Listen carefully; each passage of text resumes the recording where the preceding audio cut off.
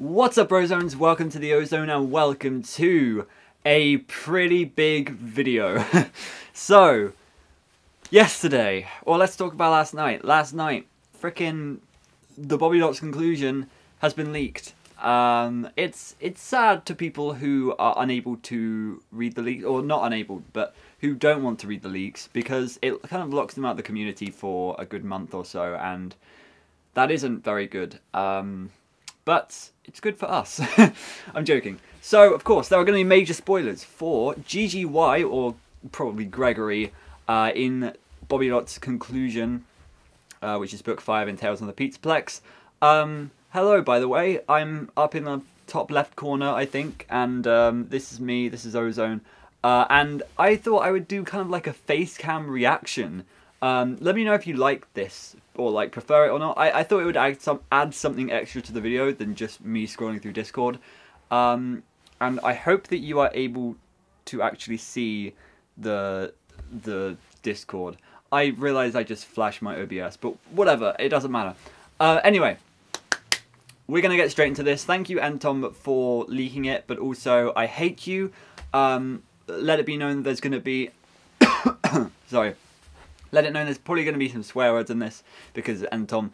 Um, and also, of course, spoilers for GGY. Um, apparently, this story is it's got a major lore significance. Um, so I'm excited to see what that's going to be. This is why I put a face cam on in the first place because my reaction probably is going to be completely silent, but I'm going to be like this. So, uh, so that's that's why. Anyway. Uh, let's just stop talking and get straight into it because I'm so excited. If you haven't read the preview, make sure you read the preview or go and listen to my audiobook of it, uh, which is one of my last videos that I uploaded. Probably the last I, I uploaded, actually, yeah. Anyway, preview summary, just in case you didn't. Tony is a young, aspiring investigative journalist who's been assigned to write a group project with his friends using pen names, Boots and Rab, for Dr. Rabbit.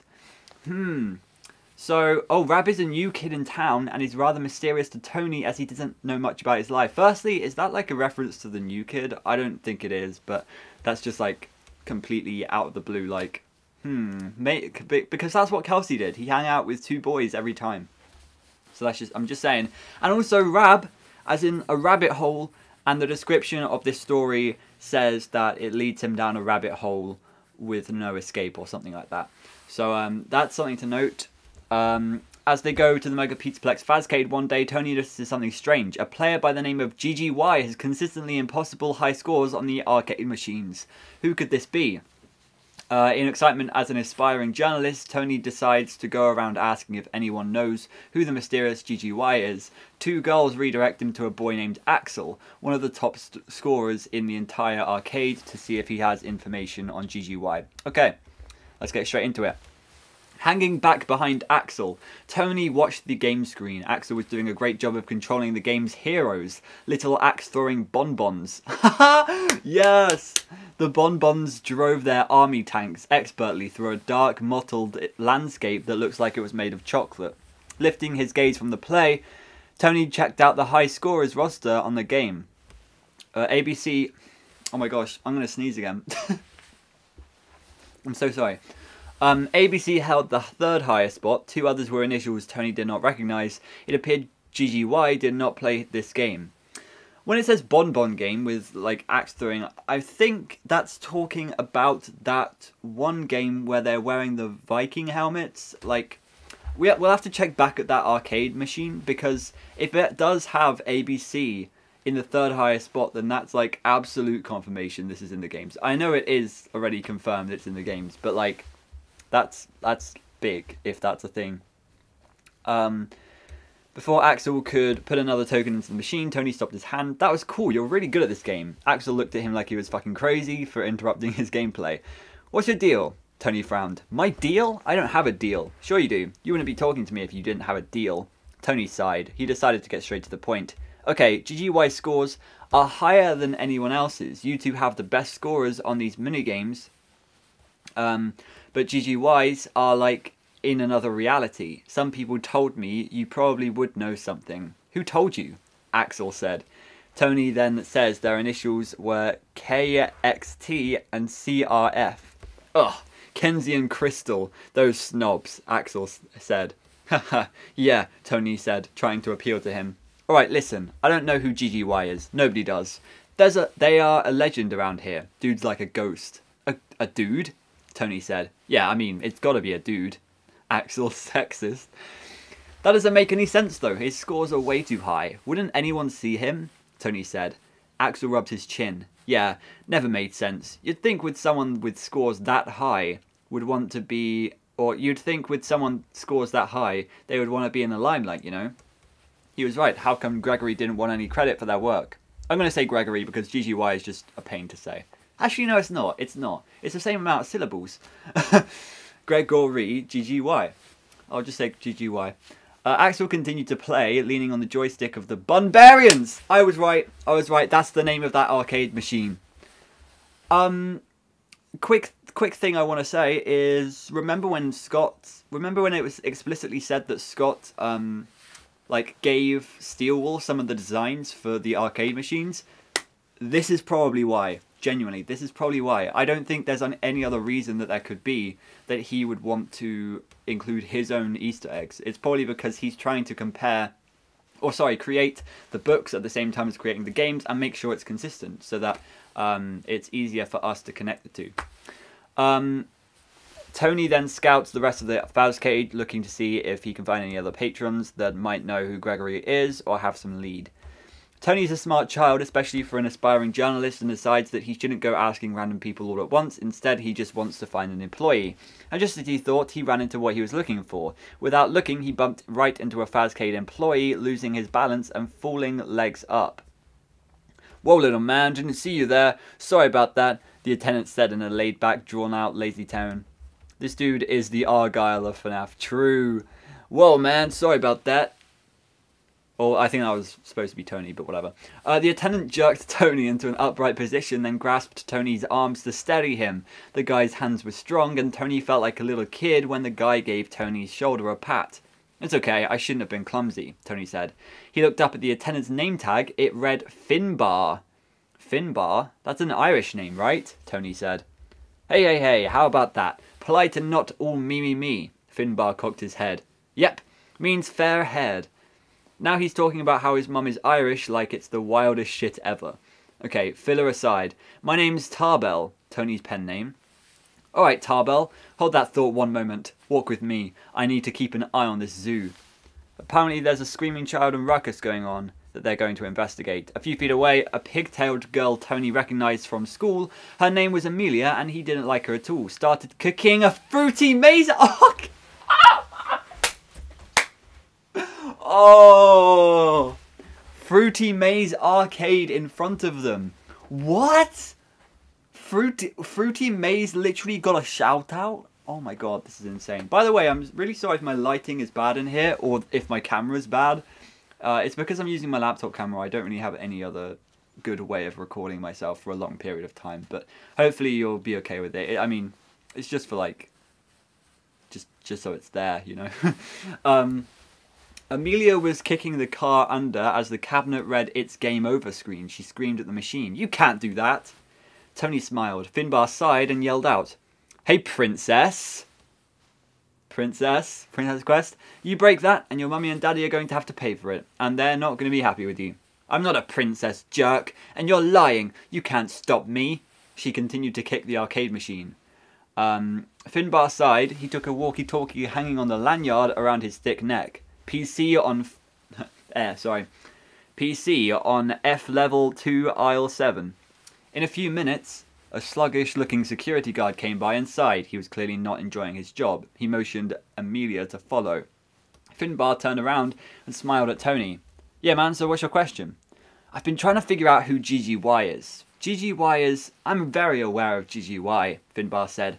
Not sure any of the other arcade attendants are. Most of them just dial it in, you know, put in their hours and get it done. Me though, I like to at least put in some an honest day's work. Over time I did notice. I asked a guy to run diagnostics on the machines GGY scored so high on. I was so sure the dude or dudette hacked the machine, but the tech dude said it was all normal. So then how does, does GGY get high scores? Finbar cut in. No idea. How come nobody... Finbar interrupted Tony again. Seen them do it? Good question. Like I said, it's a mystery. GGY is flying way under the radar, whoever it is. My guess is the kid is probably sneaking in at night. Doo doo doo. I forgot the Fortnite music. Um. Oh, dun. Um. An employee guard doesn't let you in and out of the building. Only security badges do that, and those are even more closely guarded. Sometimes my fellow co-workers get lazy. It's easy to steal an employee pass and run off with it. My guess is the kid probably went off with one of them. After getting in any info from Finbar that he could, Tony began walking through the arcade. He's theorizing that hypothetically if he stole an employee pass, he could use it to look up in the Pizzaplex database to see more about GGY's profile by using an employee's kiosk. As Tony kept walking, he was disoriented by a bright luminous white light in his peripheral vision. Tony turned. He looked up into the gleaming white eyes of Glamrock Freddy, the big orange animatronic bear with red armored shoulder pads and black top hat. Tony was a bit unsettled as he stared into the robot's eyes. Thinking Freddy was just being friendly, Tony waved at him. Friendly continued his unmoving gaze. He did not wave back, his head simply tracing Tony's movements as he walked. Tony wanted to get out, now. Something told him he was in danger. He panicked and nearly ran out of the Fazcade. Uh, it cuts to him in his bedroom at the end of the day. He's unsettled by his encounter by Glamrock Freddy. He can't shake the feeling why he's so terrified by the bear. Still intrigued by the mystery of GGY, Tony decides to go and make 30 accounts on multiple forums asking for information about GGY. Bro's username is Digger1.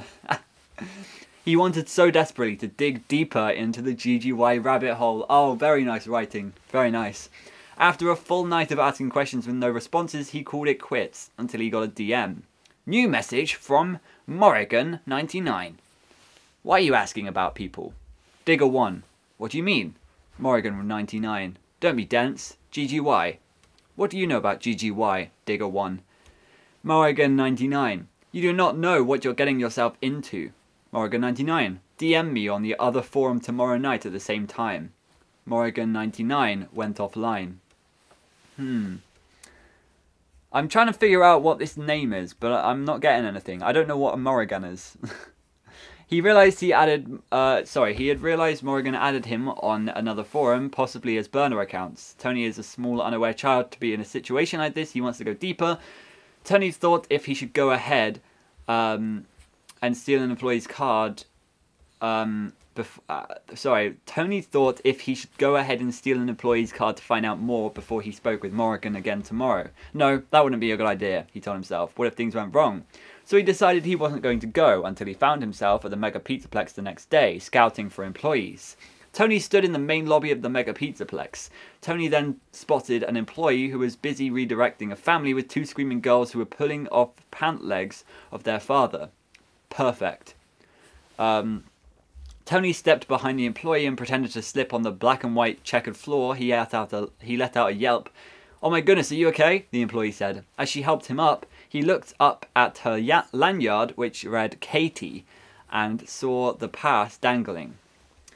Uh, he winced and groaned as he slipped the keycard off her lanyard, oh my gosh, and into the pocket as she helped him get up. How does he do that? What? Tony now wants to get as far away from Katie as possible. After finally getting away from her, she got caught up in another issue with a customer. He ran off to a kiosk. Luck was on his side again, as there were little people around the kiosks due to the Glamrocks uh, performing a show on a makeshift stage in the lobby. Uh, shit gets good here? Okay. Alright. Because the kiosks had observation windows, Tony knew he had to stay out of sight. He'd already thought this through, hoping that the keyboard had a long cord, or better yet, was cordless. Tony grabbed the keyboard. Score! It was cordless. Cordless, sorry. Following the plan that he'd come up with the night, the night before, Tony rapidly scrolled through the databases looking for GGY. He found GGY in the fifth database he tried. Tony sucked in his breath when he spotted GGY on a list of issued Pizzaplex play passes. Clicking on the play pass in question, Tony frowned. Tony wasn't a hacker, but he was reasonably good on the computer. Because of that, he was able to spot that the play pass issued to GGY had been modified. Ooh. Although play passes were supposed to be designed to simply give frequent players access to all games without need of tokens, this one had been more modified into a security badge than a play pass. The card issued to GGY, according to the computer, had more than just the usual barcode. It also had the semi-transparent Fazbear Company logo that security badges had, and it had a magnetic strip. Tony was sure that with this card GGY could get into any employee-only area they wanted. Next to the hacked play pass was a list of three names. It looked like GGY had used the pass to get other people into the Pizzaplex after closing. Tony strained to see the names. Maybe they um, might lead him to GGY. Craning his neck, Tony saw the name Mary on the screen, but he couldn't see her last name. The other two he didn't get a look at, but he saw the first few initials, Ray and TRE. um, Tony heard scuffling by the kiosk and decides um, and decides to, as the book quotes, crab walk out of the kiosk. Good way to describe it, honestly. As Tony retreated to a nearby crowd, a large flash of luminous white caught his attention. Using his, peripheral, using his peripheral vision, vision, uh, he met exactly what he expected to see, Glamrock Freddy. This time, he was moving. As Tony began to walk, Freddy paced closely behind him, mirroring his movements. Freddy is speeding up when he speeds up. He is being followed by Freddy, and his instincts are ki kicking in. Goosebumps erupted on his skin. Were the animatronics programmed for security as well? Glamrock Freddy might have seen him leave the kiosk. Once again, Tony ran for his life away from Freddy. He manages to get away, time skipping to him at home again. Scared shitless of what he's discovered, yet intrigued. New message from Morrigan99. What do you know? GGY is using a hacked play pass to get into in to get into inaccessible areas in the Pizzaplex. Impressive for a kid. Tony's breath sucked in. A kid?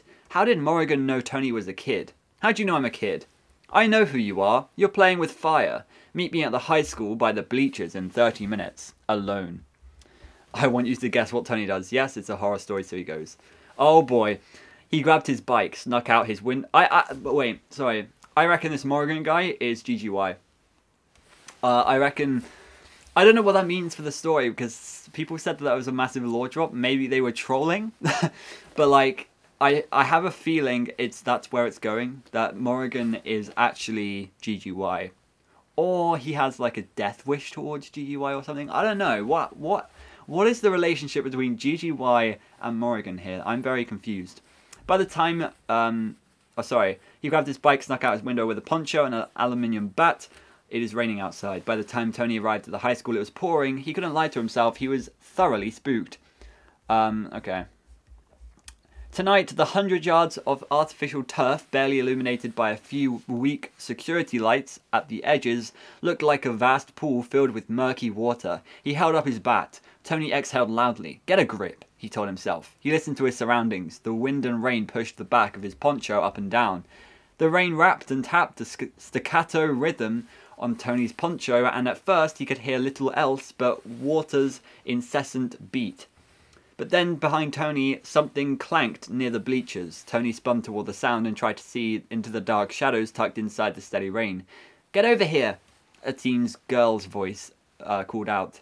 Tony grabbed his bat, bat tighter. Come on, the girl called. I won't bite you, and if I try, you can whap me with that bat. Tony walked toward the girl. She's wearing a full black poncho. Her face is obscured. They're getting under the bleachers so it's not so rainy before she reveals herself. Womp womp womp, it's just the girl from the arcade earlier. Is it? Oh, okay, it's it's not. Oh, the girl was in the preview? Oh, whatever. Let's just keep reading. She took off her poncho hood and Tony stared at a girl with two long black braids. It's you, the girl from the arcade. Crystal, right? Oh, Crystal, okay. Crystal told him to shush. You talked to Axel, Crystal said. You never told us your name. Tony, he blurted out without thinking. He forgot to use his own pen name. Okay, Tony, Crystal said, glancing over her shoulders. How do you know it was me? Crystal smirked at him. You do realize you're like the only one going around asking about Gregory, right? It's kind of obvious. Listen, I think you're sticking your nose into something that could get you into trouble, Crystal said. All I'm trying to do is find out who GGY is. Exactly. And that's probably not a great idea, Crystal said. I'm going to tell you something. And if I find out you've told someone else, that baseball bat won't be useful defending you. My hobby, she said, which I do for the fun of it, is hacking.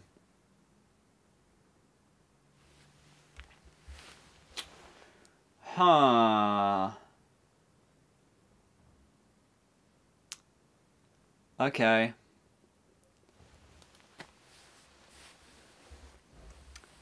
I see where this is going.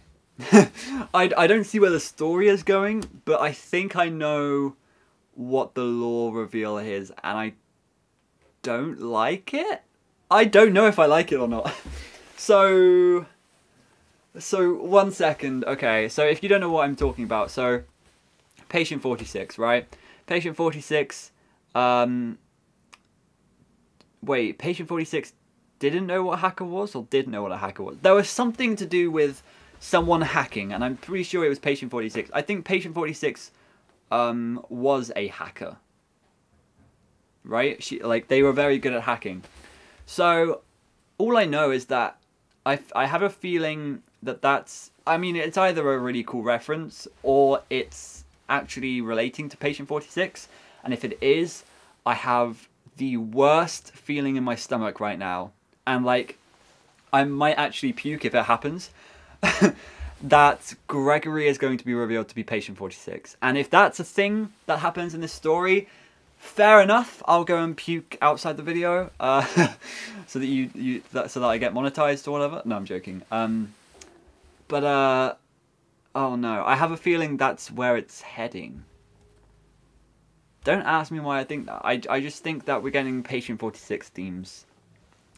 Uh, and from like from what I've heard other people say, people have said like it's something that they don't like, but it's a massive lore drop. So I have a feeling it's going to be that. Anyway, let's continue and see if that's true. I like to poke around and see what there is to see, like GGY, Tony said. No, not like GGY. They have another agenda. What I looked into, Crystal said, glancing over her shoulders and returning her gaze to Tony, was the Pizzaplex animatronics code. I was curious as to how their behavior was chosen.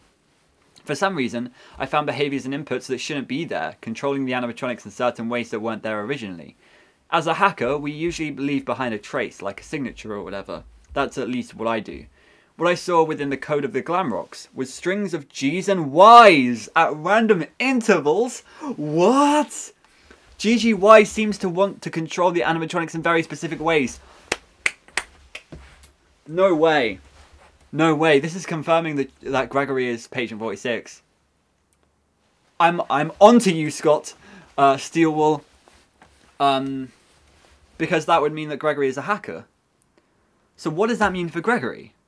You know, I, I want to do a whole theory video on this. Like, once I've read this, if there's enough to talk about, I want to do a theory video on it. Because this changes a lot about Gregory if it is true. But I don't know if it is true, so I need to keep reading. Uh, sorry for stopping. Um, G's and Y's, Tony repeated to himself. I don't believe in uh, coincidences, Crystal said. I didn't think much of it first, but I pieced together when I saw you going around asking about GGY. I have a little brother, so I would have felt like a jerk if I didn't let you know. You need to be careful. Whoever it is, they're dangerous. Okay, fair enough. I just wanted to tell you what I know. Now I've done that. Crystal retreated back into the darkness, disappearing in the night. Tony, left alone in the dark, ran back to his bike, and he pedaled as fast as he could back to his home. Um, so there's time skips to a recap of Tony's next few days. Every time he vis visits the Pizzaplex, um, he is always unnerved because of the warning Crystal gave him, but also because Freddy watches him non-stop every time he's in the building. Let me guess. Gregory is in Freddy, or Gregory is hacking Freddy, and therefore um, Gregory is watching him, try and solve him. Uh, after going home that night, he begins to work on his group project. GGY had a plan, Tony wrote. He has decided to write his story about GGY. Okay. And it was a plan that they weren't going to share with anyone, working behind the scenes wraith-like, worming their way into the dark maze of the Pizzaplex's restricted areas. GGY left only the sub-list trail behind. Did they leave the trail on purpose, teasing anyone who dared to follow their convoluted intentions, or were they so overconfident in their clearly superior hacking abilities that their carelessness left the occasional faint footprint? After GGY adjusted the animatronics code, Tony wrote, they became their new leader. Fazbear Entertainment may have thought the animatronics were in their control, but they weren't. The glam rock stars of the Pizzaplex, Freddy and Chica and Roxy and Monty, continued to act normally most of the time, but in truth, under the facade of their normal duties, they were becoming GGY's minions. Um, furtively moving in and out of the shadows, avoiding security guards and cameras, is something only GGY knows. The end. This is brilliant freaking writing, by the way. I'm amazing. Like, I'm astounded. Um, also, thing to note, timeline placement, Freddy and Chica and Roxy and Monty. Monty's there, not Bonnie. Something to note. Uh, Tony saved his document. Uh, 20 or so pages left, okay. When Tony was writing, his concentration turned out of out the world. Oh, sorry, tuned out the world. His mother had often told him that aliens could come through his window and throw a party in his room while Tony was writing and he wouldn't notice. That might have been a bit of an exaggeration. I don't think anyone should um, leave right now. Okay, okay, so it's gonna get good. Now that Tony was out of his writing zone, he heard his grandma's TV blasting as usual. A news anchor started talking. The family of Mary Schneider, Mary, a school counsellor, A school counsellor who disappeared nearly five months ago has made another appeal to law enforcement and the public. This is about patient 46. It has to be. There's no other place you can go uh, with this. Uh, Tony frowned, and memory was trying to clamber out of the thick stew of thoughts in his brain. What was it? Poor Mrs. Schneider, Tony thought. Everyone in the school had known Mary Schneider. Even though Tony had never met with her, he'd seen her in the halls. Tony shook his head and yawned. He still felt like there was something he needed to remember, but he was too tired to figure it out. Maybe I'll think of it in the morning, Tony thought as he headed to the bathroom to brush his teeth. Um, the story is constantly going to be Vine Boom moments from now. Okay. The title of the paper read, The Mystery of GGY. Hey Rab, what do you think? Rab read the title. His expression was unreadable. Rab is 100% Gregory. 100%! Because now he's showing Rab that he's got the mystery sorted, Rab is going to try and freaking kill him. He put the paper in his book bag. I'll read it later. Rab, oh, I don't know why I'm so excited about Rab, but I, Rab is 100% Gregory. Like, I have you solved. I have you solved. um, Tony, Rab, and Boots are now walking down the hallway in school, and Tony asks Rab and Boots if they can revise his story because he has to go paint the neighbour's basement tonight for Pocket Catch. I'm going to be late tomorrow. No can do, Rab said. Why are you going to be late, man? Why are you going to be late? Are you going to go and hack some animatronics? Uh, Boots cut in. Rab and I will work out, uh, work on it in the evening. It's fine. Tony is beginning to wish he never teamed up with them. Time skips to him painting in the basement. It's calm. Nothing happens. It's painting for the rest of the book. Uh, no. As he watched the paint drip, what was nagging him this morning finally came to him. Mary! Tony yelled. He trips and the paint splatters down. He can. He starts coughing. Uh, he he no care because he has revelation. Uh, Tony stepped forward and swiped his roller off the drip as he thought about the name that he'd seen on the computer in his Pizzaplex kiosk. One of them people GGY's hacked PlayPass had let into the Pizzaplex after hours was someone named Mary. Wait a second, so Gregory's hacked PlayPass let Mary and the other therapists into the Pizzaplex after hours. Does that make sense? I'm not sure if that makes sense. I'm not, I don't know. I'm trying to piece it together still. Could the Mary that GGY had led into the Pizzaplex have been Mary Schneider, the missing counsellor? If Tony's, if Tony's suspicions were correct, GGY was up to something in the Pizzaplex. Crystal had said she thought so too. What if Gregory had something to do with the missing counsellor? Um, Tony got on his bike and coasted down the Brownings driveway. Okay, he said to himself as he started to pedal. I think GGY is a kid. If they're a kid, they probably go to my school. If they go to my school, they probably knew Mary Schneider. Rab! he needed to find more about Mary Schneider, but how? He pressed his lips. It was late. His mom would be asleep and his grandfather would be busy watching TV. Or grandmother, sorry. He made his decision and began biking in the direction of his school. As he reaches the school, he sneaks in using a secret way through a broken limestone that he and his friends, Boots and Rab, had found together. Nobody else know, knew about the entrance. The last time Tony had snuck into the school, he'd had his friends with him. Being alone, he discovered, was a little scarier. Tony had to clamp down his normal active imagination as he crept past the lumpy hulk of the school's furnace and several stacks of dusty boxes and crates. On the bike ride to the school, Tony had decided that his best chance of accessing the school's records was via Mrs. Mrs. Hawkins' computer. Mrs. Hawkins, the uh, grandmotherly librarian with a pun heavy sense of humour and seemingly endless energy, had an office, not much more than an alcove, near the back of the school library. It wasn't a space that could be locked, so her computer could be easily accessed. Uh, Tony had worked with Mrs. Hawkins on so many projects. He was one of her favourites, or so she said, because he was so curious and so eager. She often had him join her in her office so she could help him research. Because of this, he knew her password. Although the school was ancient, Tony knew it had some internal security. That security, however, was sparse, and Tony, because his curiosity made him aware of all sorts of little details, knew where the cameras were. He could easily avoid them. He duck walked until he knew what uh, he was past the range of the library's CCTV. Then Tony took a seat in Mrs. Hawkins' white leather desk chair. Tony pulled out his flashlight and shone it on Mrs. Hawkins' keyboard. He quickly typed in her password, Shelley and Petey. Of course, she had typed the usernames of her grand or the usernames, the two names of her grandchildren. Tony quickly found the personnel records. They were organized by position. He clicked on counselors. Mary's file stood out immediately, but something was off. Tony froze. Um, the counsellor list was long, but each name had a date to indicate the counsellor's tenure at the school. Only four of the names had dates within the last couple of years. Tony figured those were the only ones that were relevant. The Pizzaplex wasn't even around before then. Oh. Raylin Lawrence had replaced Mary Schneider and she'd only worked there a month. Trina Welsh had been the next counsellor and she had lasted just seven weeks. The current counsellor was Georgia Lowe, who had started a month before. Wait, so he needs to find Georgia. Uh, Tony clicked on Mary Schneider's file. There wasn't much to it, just a resume a few performance reports and a summary page. Tony skimmed through everything quickly, although the summary page noted under reason for exit that Mary Schneider was missing, disappearance under investigation, nothing else in the file was remotely interesting.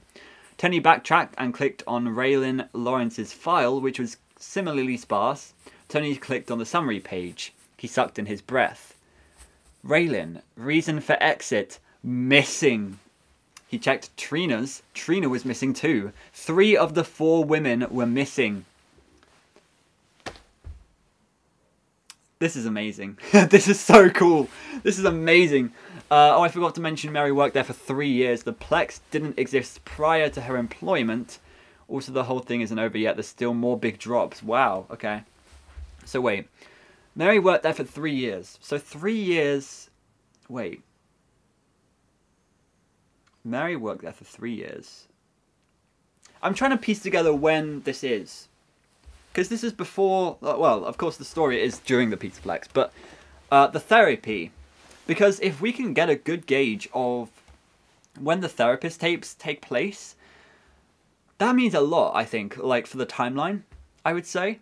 Uh, it, it like connects a lot of dots in, in AR and especially VR even because of um, because of the importation of Glitchtrap. So that's uh, something to to note. Um, why hadn't that been mentioned on the news report about Mary Schneider that Tony had heard that other night? He tapped his fingers on Mrs. Hawkins' desk. Maybe the school was trying to keep it quiet. He could sure understand it if they were. Then he remembered Ray and Trey. Suddenly he hears a noise scatter within the building. He's not alone. How would that be possible though? Only Boots and Rab knew the secret entrance. Because frickin' Rab is Gregory uh, was it a house? Oh, sorry, a mouse maybe? Or something else. There's 10 pages left. The councillors must have met with GGY, and maybe, one by one, they'd caught on to whatever GGY was doing at the Pizzaplex, and maybe other places too. Who knew what Gregory was capable of? Clearly they were brilliant. Brilliance could be used for good and bad. What if the councillors had discovered what GGY was doing? And what if they'd known that they were onto him? Uh, and what if they'd lured him somehow to the Pizzaplex to do away with them? Aha. Deep within the building, something began to shuffle. That was Tony's cue to get out of there. And so he did. It time skips to the next day at the beginning of school as he's waiting for Boots to show the revised paper. You're not going to believe what I found, Tony whispered to Boots. Last night, I. We added more to the story, Boots interrupted. Go ahead, read it. Um, GGY was the wizard's most favoured apprentice. Tony yelped when he read that line that had replaced Tony's description of GGY's high arcade game scores. Cool, right? It was Rab's idea. We were right, lads, we were right. Rabs is Gregory. After reading the second page of the story, which described the corporate conspiracy that somehow reached another planet where the wizard resided, Tony's head began to throb. When he saw the description of GGY's control over the animatronics, it turned to an animatronic supervillain who went into battle with a tentacled monster. What? What? Okay, wait, I need to re read that slowly.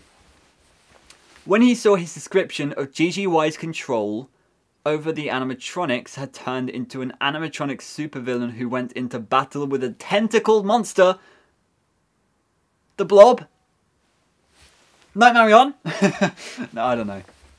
Uh, uh, I, I don't know if it's actually like a tentacled monster, but yeah. Um, Tony was pretty sure his ears were emitting steam similar to what was swirling along the surface of the step he stood on. They had ruined his story. Tony is now storming off to class because he's pissed. You're welcome, Boots said. No, not Boots, Ellis. He was done calling Ellis by his pen name. It doesn't name Rab, but keep reading. Oh, I reckon uh, he's gonna. I reckon he knew this entire time that Rab's name was Greg. Uh, but he he just always used Rab's pen name, which is Rab. Uh, I reckon that's probably something. Or did we know Rab's name before he was called Rab? I don't know. But I reckon he pieces it together like, oh my god, Rab's name is actually Gregory. I didn't even think about this. Um, Tony was striding out into the hallway when he heard his name over the school's loudspeaker. Tony Becker, a woman's voice uh, cracked. Crackled, sorry. Please report to Mr. Adkins' office immediately. Tony goes to Mr. Adkins. Uh, it has come to my attention, Mr. Adkins said as soon as Tony sat, that you snuck into Mrs. Hawkins' office last night. How? You were caught on camera. He's lying, Tony thought. He knew where the cameras were. Someone snitched. But who? After school, you'll go back to the library for detention. You can explain to Mrs. Hawkins why you violated her space, and you can also do whatever tasks she deems appropriate. Capiche? Uh, he goes into detention, and Mrs. Hawkins is actually rather understanding of it and thinks he was simply doing research, although he didn't tell her what. But she still had to give him a punishment since Tony is a good child, he decides to go help her put some books up. Before Tony could put the book in the spot he needed to go, he heard his name be called. He looked up to see the other culprit who ruined his story. The story destroyer grinned at Tony. Boots said you weren't happy with the changes we made to your story, he said. Sorry we did so much to it. We might have gotten carried away, but we were just trying to make it more entertaining. Tony looked up at Rab. Thanks, Greg.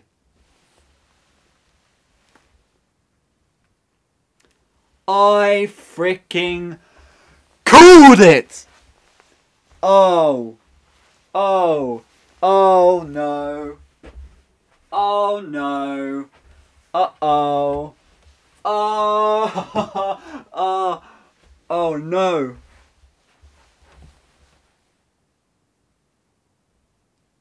Oh. Oh no. Um. I'm saying oh no because. First of all, that's confirmation that Gregory is in the story and GGY is in fact Greg. I mean, I think we knew that already.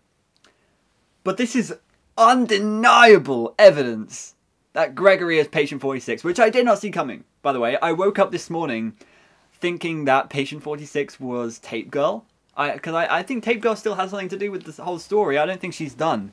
Like, um, she she didn't escape glitch trap. She's still infected by glitch trap. There's probably other people infected by glitch trap at this point as well. Uh, that could be Patient 46. But, like, uh, Gregory was the last person I thought could be Patient 46. So I think what I'm going to have to do is I'm going to have to mm, put together a video kind of rewinding. Like like let me know if you if you would like this idea and if you would like me to upload it sometime soon. Uh, or maybe I'd have to do it when the book actually comes out. I don't know. Let me know. But um, maybe we I'll do a video like rewind. Like let's let's just go back on the security breach lore. Let's go back to the beginning, and think about how Gregory fits in here with Patient Forty Six. Um, I think that's something we have to do.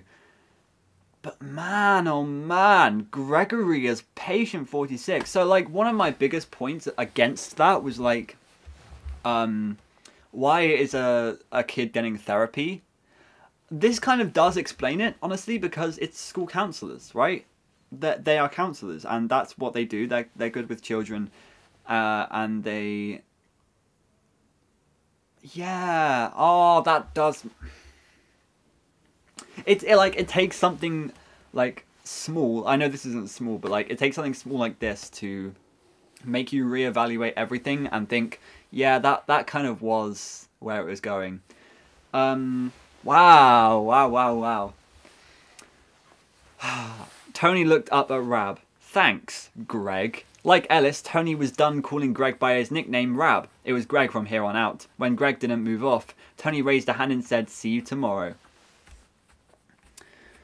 Ah. Gregory began to walk off, but then he stopped. Greg returned the wave. He smiled, then he cocked his head and studied Tony for several seconds. For some reason, Greg's scrutiny made Tony want to squirm. Before Tony could figure out what made him feel so freaked out, Greg began to walk away again. Then he stopped.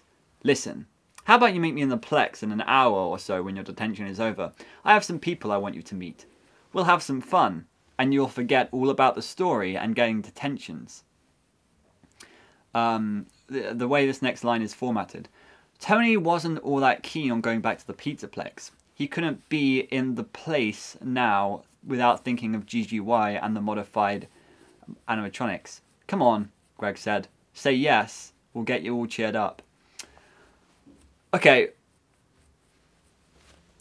Okay. And that's the end, by the way. That's the end. First point. That feels like an incomplete story right? Is it just me that feels that's really incomplete? Although I guess the complete story is security breach, right? Like this is Gregory. This changes so much. This genuinely like what's going on? Because we thought that Gregory was a missing child as well. We thought that Gregory was a robot built by Michael. We thought that Gregory was possessed by the crying child, but like I'm really confused now. Like everything about security breach has just kind of changed. Like uh, my perspective is just like warped. That's really interesting. Well, that's that's a great story. Um, aside from like, let's let's take lore implications out of this. Good story. I would say I wouldn't say it's the one of the best. It's pretty cool though that we got like we had all the information at the start. I would say, and Oh my god, I love the foreshadowing in the description. It leads him down a rabbit hole.